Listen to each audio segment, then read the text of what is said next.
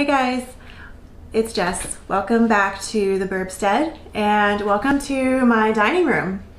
This is one of the rooms that is actually done inside the house, which is really exciting.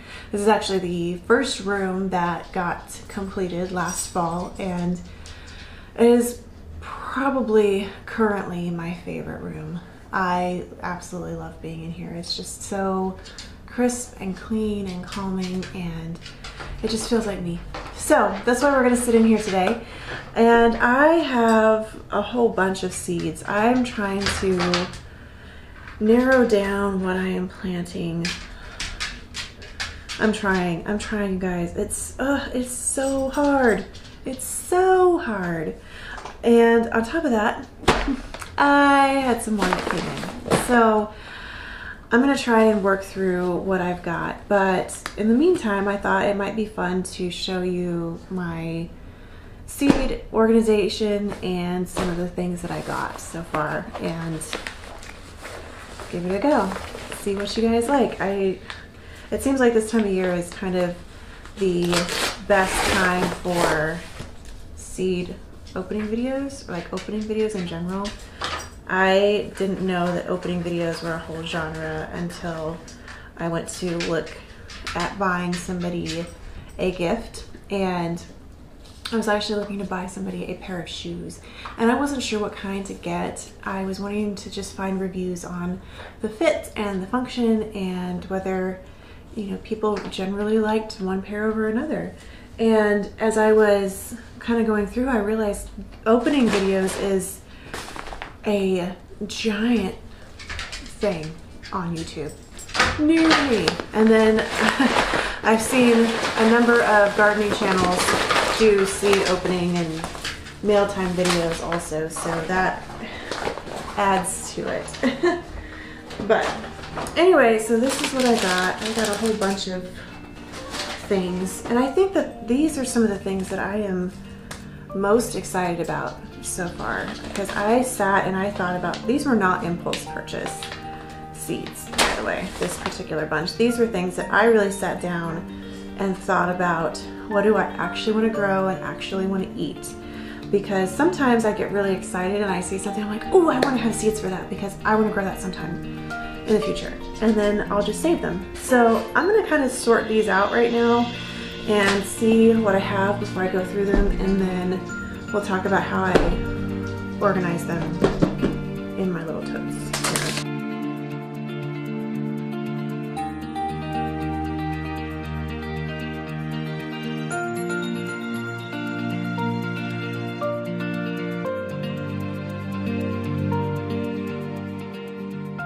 Alright guys, so this is what I've got. I've got them kind of separated into different categories and I'm gonna go through them pretty quickly and then I'll kind of walk you through what my seed organizing is so then that way you can kind of see how I do that. And hopefully thin out some of these that I'm planning on starting. So the first thing that I've got is I have some different lettuces and um, types of uh, leafy greens essentially. So I have some arugula, I got some Vulcan Swiss chard. I thought that the stalks on these would be really, really pretty to put in either uh, cut flower arrangements or just to have in a bed somewhere as kind of an accent. I don't, I don't eat particularly Swiss chard or mustard greens or kale or something like that. It's not something that I just generally have in my diet or particularly care for, but I thought that they were really, really pretty. And also it'd be something that if I got down to the end of the year and had a lot of harvest, I could donate to the food bank because they are always asking for fresh vegetables. I got um, little baby tiny bok choy. I do like baby bok choy. I thought these were so cute. They're so little. And I have some of those grow towers that have, you know, three little cells per level. And I thought that these would be really great to grow in some of those because they're so small. And I could kind of put lettuces around other ones, but this would give me some variety with stir fries and stuff like that. And then I got some five color still uh, Swiss chard, which is the same thing, uh, same reason, just because I thought it was pretty. And then I got some, excuse me, and then I got some uh, strawberry spinach or spinach strawberry because I thought it was really pretty to have these kind of little fruits that are off of them. I thought that was really interesting to possibly try, see what that would taste like. I thought it might be really, really good in kind of a fresh salad or something, some sort of maybe taco or something like that. I put everything in tacos, so I thought it would be really good for that. And then next I have peas. I realized this year that out of the orders that I had gone through, I hadn't really got peas. I had beans, but for some reason I had missed buying any peas and I really, really liked them and I couldn't find any when I went through all of my seeds to figure out what I wanted to plant this year. So I ended up getting some, I got some sugar magnolia tendrils because I thought that they were super pretty. They've got really, really pretty flowers and the pea pods are purple, which I thought that was really cool. And then I got some sugar Ann, which are really sweet, and some Little Marvels just for some differences to kind of compare the two varieties, see what I like better. This is kind of an experiment on what I actually like year over year. And you don't get a whole lot of yield off of one plant, so you kind of have to plant quite a bit to, to get any sort of yield with peas. And then these up front here, these are sunflowers, of course. Um, this is a gold coin, which doesn't have a picture on it, um, which is just a, a standard variety, kind of big yellow. I've got a gold ring sunflower. This is a dwarf sunflower and it says that it only gets 20 inches tall, which I was really excited about. Um, I thought that they were really cute and sweet and tiny and I thought they'd be really, really fun in flower arrangements. Kind of do like a mixed mixed size. You could put them, I could put them in containers out on the front porch. And then I got some short stuff because I thought they also looked really interesting having a dwarf size two or three foot tall sunflower with a really full head on it. I thought that would be really interesting along a fence line that could have more support where I get a little bit more wind and they wouldn't be as protected, but I could still have them there. So those are going in my bunch. I'm planting a ton of sunflowers this year, so I'm gonna see how all of them do. I got two types of tomatillos. I got a queen of Malinalco. I thought that was really interesting looking. It's kind of oblong shaped. I thought that was really kind of unique. I've never seen them like that. And then I got an Amarilla tomatillo. I thought those would be fun because I love salsas and stuff like that. And then I got some tomatoes. I am doing a ton of dwarf tomatoes this year because I just really loved them last year. I thought they were a lot of fun, but these are some that I kept seeing reviews on that people really, really loved. And so I thought that I would give them a try, kind of see once I get down to actually starting what I would decide to pick. I think this one, this first one, this Sunrise Bumblebee is one I'm definitely going to try. Uh, everybody has raved about it that I've seen. And then I got a pineapple tomato because I thought it was really pretty. I got a Dr. White's, or I think that um, some other people call it Dr. Witchy's depending on what what pronunciation you have. I think Dr. Witchy sounds cuter, but this one is supposed to be really, really great. I got a Rebecca Allen because one of my best friends is named Rebecca. I kept thinking of her every time I saw it, I went past it. I was like, I think I'm gonna grow those just cause. I got a mortgage lifter. Um, I got a gold medal. I got a millionaire. I got a German lunchbox. These are kind of snack sized. And I thought they'd be really fun for my sister-in-law. She absolutely loves tomatoes. Those are her favorite thing to eat. And she just literally goes outside and picks them off the vine. So I thought this would be kind of fun for her to to have possibly if she if she wanted to start. She hasn't told me what she's looking for yet. Um, but I thought that might be kind of fun. And I got a German pink, a Principal Bolognese, and an Isis Candy Cherry. And next I bought, um, I'm gonna save this one for the last, but I got some grains. I was really excited about this idea of growing my own grain. I have a couple of grains, but they are more for just because they're pretty is more what they're for. But I thought that it would be really nice to do some grains to be able to probably cook with them, possibly even turn them into some sort of flour And also, um, one of them specifically I bought as a potential cover crop later in the year. So first one I have is a, the first two I have are quinoas and I got a Brightest Brilliant, which is kind of a multicolor one, different colors in it. I thought it was really pretty. And then I got a Cherry Vanilla, also really, really pretty. And I don't know, I mean, couldn't you just imagine, these grow three to five feet tall. And I just thought, you know, mixing them in between some really tall sunflowers kind of would just be really interesting. It's kind of a big, long screen with some other things like that that grow really, really tall. Next, I got two types of buckwheat. I got a red rose soba, which is so pretty. Look, this one I got really because it's pretty, but also I thought it would be a really nice cover crop later. But look at it, it's just pink and airy and I thought it'd be really, really great. I've got some really tough clay soil in my yard and it's not as bad as some areas, I know. I've, I've seen some people's clay soil and mine is not that bad, but I thought over time being able to grow something that is one, beautiful, and two, really, really helpful to kind of start to amend some of that natural soil would be really, really great. And the other one I got is the white, white buckwheat, which I really did buy intentionally as a cover crop. So I've got peppers. Peppers are one of my favorite things to grow. I got a lemon drop because I thought it'd be really fun. I got a Thai red chili because I do eat these on a pretty regular basis. I find myself buying them at the store a lot because I make a lot of chili. And that's another reason why I bought some different peppers is because I love to make chili. Absolutely love it. That's another reason why there's a difference for all the tomatoes and tomatillos and things like that too because I do want to experiment with some of that. Uh, but these I, I find myself buying a lot. I got Puma peppers. I've never seen these before, but I thought that they were just really, really pretty. All those kind of fall colors, those fall tones, I thought that they were just really interesting. They're supposed to be as hot as a habanero, but really just very attractive, very attractive fruit.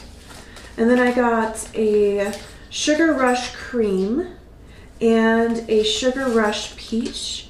So that way I could kind of compare the two, but they're both a sweet, spicy pepper. And I thought they would be really great on tacos or in some sort of jam or a chutney or something like that.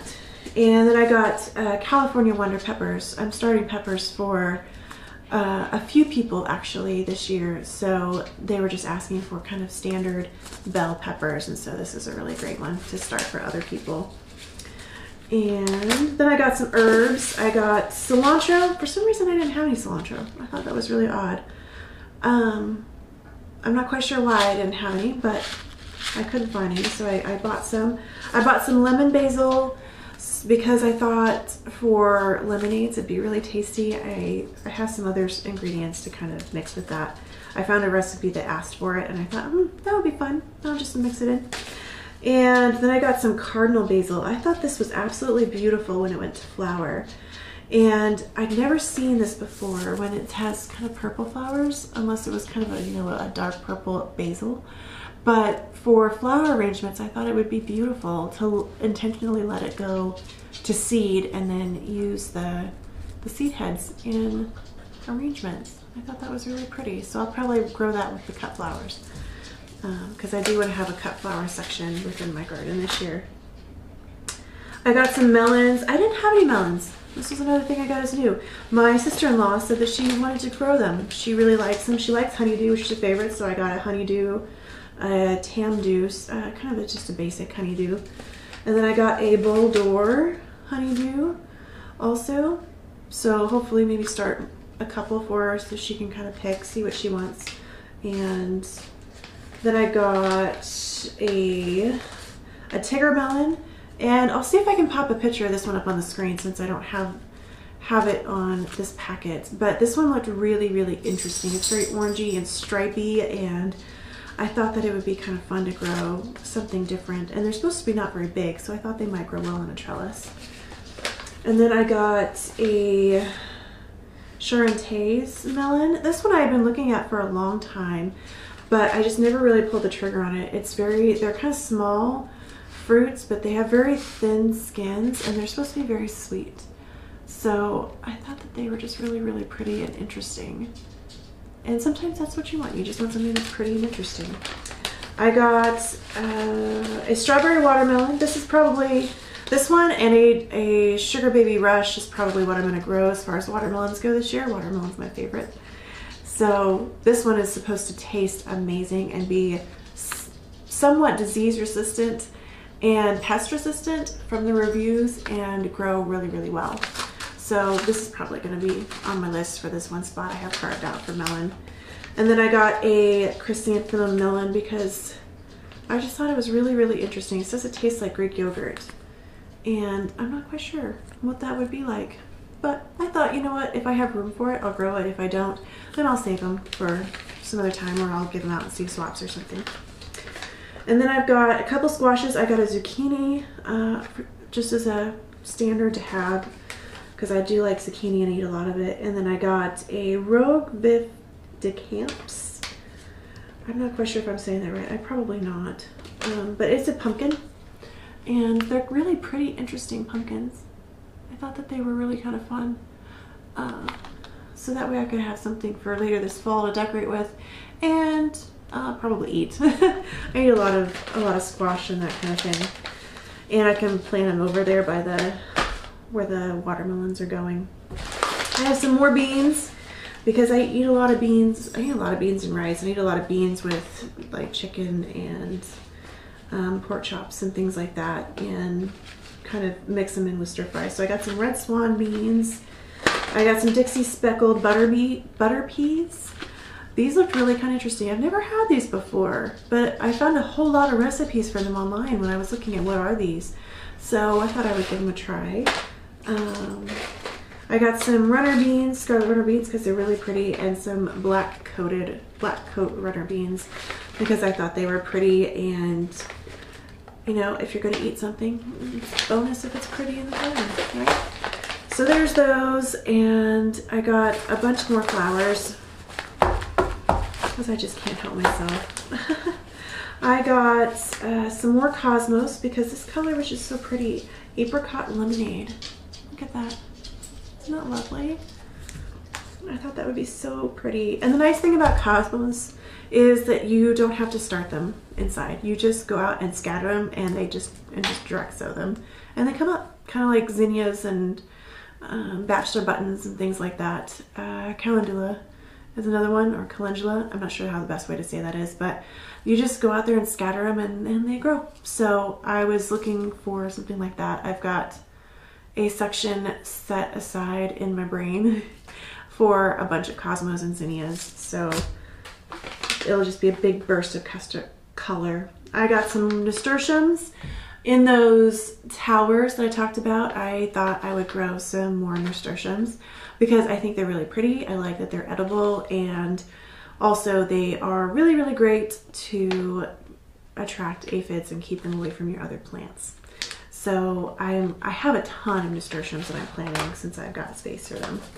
I've got some asters, um, I have some phlox, and I got marigolds because I always, always plant marigolds with my tomatoes and my peppers and anything else. So then that way it kind of wards off certain pests.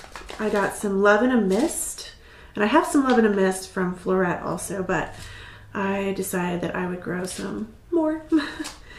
and kind of blend them together, see which ones I like better, kind of test them out. I got some more nasturtiums. These are orchid cream. I thought that they were really pretty, kind of with their purple and, or their burgundy and cream, kind of the veining in between them. The petals I thought was nice. I got some Black Boy Bachelor's buttons, kind of a deep, deep purple color. I have a bright blue Bachelor button, but I didn't have this color, and this color is so unique. Every time I see this, I always buy it because I just, I love how dark and striking it is. It just kind of stands out to me. I got some Twinkles Dwarf Phlox, which is this, is this is a shorter one. It only gets nine inches rather than the two to three feet most Phlox does. So I thought that'd be nice. I got some Dwarf Asters, so some other shorties. I got some Echinacea, and I got some Dianthus. I got some calendula, calendula. I never know if I'm saying that right. Is there like a specific way to say that? I don't know. But I got some of those. Um, more nasturtiums. And I got some coneflowers and some more cosmos. I'm realizing I got a lot of yellow. Apparently I was in a mood for something sunny. It must have been a really gray day when I was looking over my order before I finished it. I got some heliotrope for some purple. I don't buy a lot of purple. It's not my favorite color, but I feel like I need to have something purple. I got some poppies. I got two varieties. I got Poppy Supreme and Poppy Black Swan. And another calendula, Snow Princess, which is kind of a white and yellow. There you go. Flowers, and then the weird randoms and free seeds, because Baker Creek always sends those to you. I got some asparagus because I want to start an asparagus patch. I got some cylindrical beets. And then I got some Colorado Red Star artichokes. These I'm starting almost immediately. I'm very, very excited about these because they're supposed to be able to come to fruit or come to flower, excuse me, in the first season. So I'm not 100% sure how that's going to go, but I'm looking forward to trying it and seeing how it works. I've got some other artichokes that I'm going to try side by side and see what I think of it. I'm growing all my artichokes in containers this year, just as a heads up. And then I've got some kohlrabi that I got for free. I've never grown or had kohlrabi before, but I think that they're pretty. They're really large. I know they're large, but this one says the bulbs get three inches across themselves. And I know that the, I know the actual like whole plant gets like pretty large, like two or three feet across and, and wide also. But I don't know, maybe I can plant it with my Swiss chard and it'll just be kind of these pretty pops of colors that come up and then put some little shorty flowers in front of them. And then they gave me some purple echinacea, which I'll just slip in with my other one. So that is what I have right now. And that's a lot, you guys. that's a lot. It's actually kind of long. So I think what I'm going to do is I'm going to go ahead and end the video now because I don't want to I don't want it to run into too much. I want it to kind of make sense as it goes along and we can talk about seed organizing tomorrow. So stay tuned to the video that comes out next because I do want to go through how I organize my seeds. And I hope you all have a wonderful day and I'll see you next time. Bye. And end. Mm.